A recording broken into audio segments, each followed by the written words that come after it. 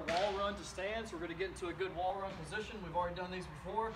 It's a good angle, shoulders, hips, ankles all in a straight line. So we're gonna start our wall runs. And then we're gonna start walking closer to the wall and then incorporate our arms and a sprint, okay? So we can do this in a variation with our one, two, and three calls. Uh, we can change this up a lot of different ways, but we'll start in the wall run position. Fast as we can go, start to stand, and then utilize the arms.